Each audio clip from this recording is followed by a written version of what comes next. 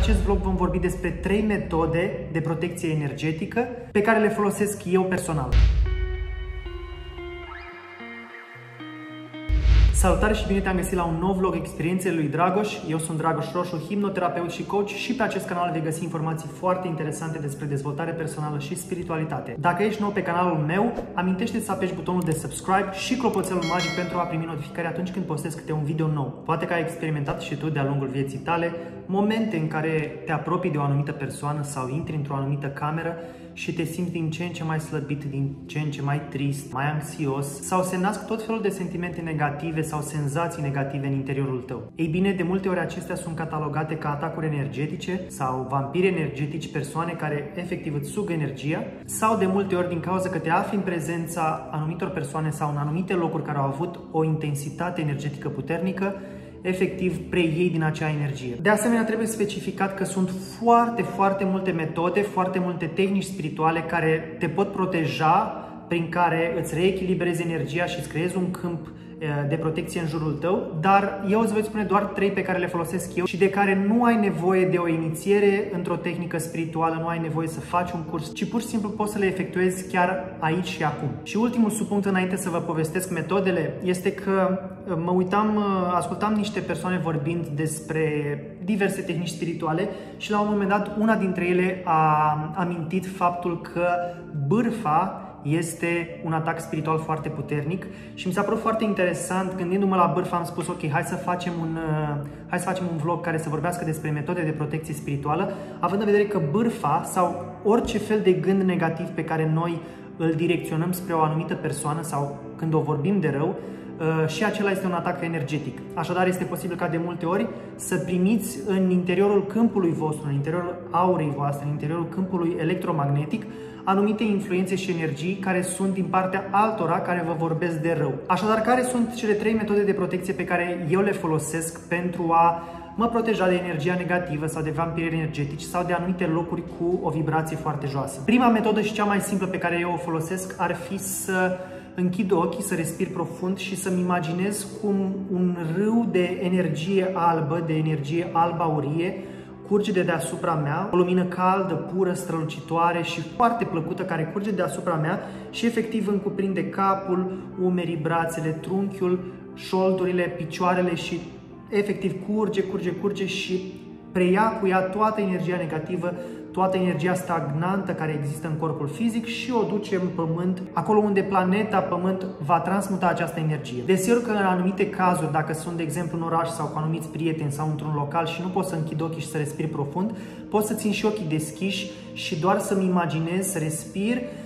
și să-mi imaginez cum cade de deasupra mea o cascadă sau un râu sau un fascicul de lumină foarte puternic care efectiv curăță totul și duce totul în pământ. A doua metodă pe care o folosesc este o metodă foarte simplă, la fel nu ai nevoie de nimic altceva decât de imaginația ta și de intenția ta, este ca cu fiecare inspirație să-mi imaginez cum strâng lumină, cum strâng energie pozitivă, cum strâng uh, energia Universului, cum strâng energie vindecătoare în interiorul meu, în zona inimii și atunci când expir simt cum această bilă de lumină care s-a strâns aici în zona inimii se expansionează și devine ca un fel de sferă de lumină în jurul meu, o sferă de lumină strălucitoare, albă, pozitivă, caldă. Uh, vindecătoare și când inspir din nou, iar strâng această energie și iau și mai multă energie din mediul înconjurător și din nou când expir, expansionez din nou această bilă și efectiv simt și cu ochii deschiși și cu ochii închiși, dacă, dacă mi închid ochii, pot să simt și să văd efectiv o, această sferă de lumină în jurul meu și efectiv să o și simt câteodată. Uh, pot să ai anumite vibrații sau anumite Uh,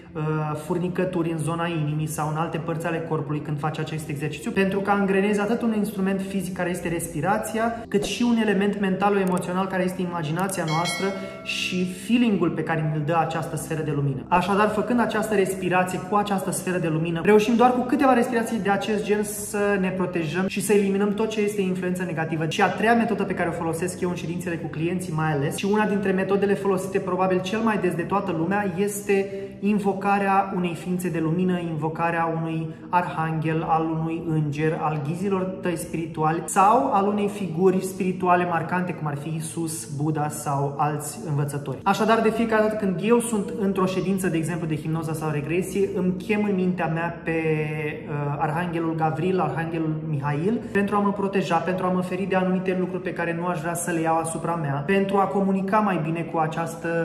cu acest client și pentru ca intuiția mea să circule mai bine. Așadar, puteți să vă rugați în mintea voastră lui Isus, lui Buddha, îngerilor păzitori sau ghizelor spirituali, pur și simplu puteți să chemați în mintea voastră și să le spuneți, uh, vă rog frumos ghizii mei, în momentul acesta vă rog să mă protejați și să mă mențineți într-o vibrație superioară. Aceasta ar fi o metodă sau puteți să le spuneți orice vreți voi, puteți să comunicați exact ca și cum ar fi cu un prieten, nu este nevoie de o rugăciune foarte pompoasă, foarte, foarte dezvoltată, pentru că ei sunt aici în permanență cu noi și în momentul în care gândul nostru se conectează la ei, uh, ei vor fi acolo și cu siguranță ne vor ajuta pentru propria noastră stare de bine. Așadar, acestea au fost cele trei metode prin care eu mă protejez energetic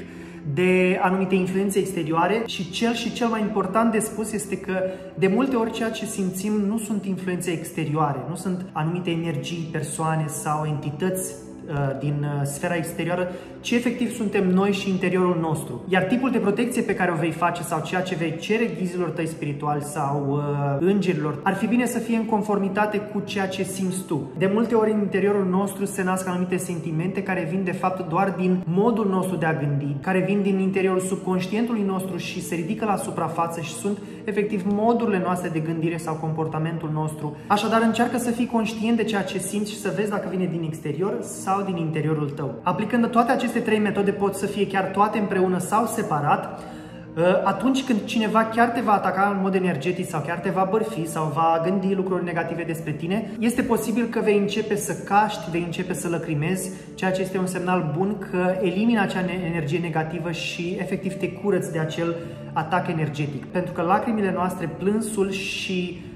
căscatul, dar nu acel căscat de oboseală, ci există un căscat specific pe care cu siguranță l-ați simțit cu toții de-a lungul vieții voastre, este un căscat de eliberare energetică și atunci veți ști cu siguranță că efectiv sunteți protejați. Dacă ți-a plăcut acest vlog, te rog să-mi lași un like, un coment și să-mi spui părerea ta despre ceea ce am vorbit aici, dacă ai experimentat vreodată atac energetic sau dacă știai cum să te protejezi și dacă ești nou pe canalul meu, amintește să apeși butonul de subscribe și clopoțelul magic pentru a primi notificarea atunci când postez câte un video nou. Îți mulțumesc pentru prezența ta aici și ne vedem la următorul vlog. Pa, pa!